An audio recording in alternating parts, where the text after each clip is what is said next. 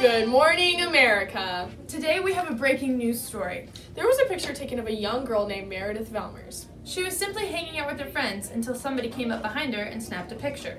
This is the picture taken of young Meredith. That girl's looking kind of weird. I'm gonna go take a picture of her.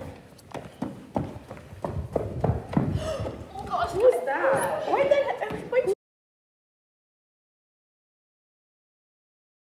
picture taken of Meredith. There were many mean comments posted under the photo. That is called cyberbullying. Cyberbullying is when you make fun of or bully someone on the internet. If you ever cyberbullied, talk to a trusted adult. Thank you for watching!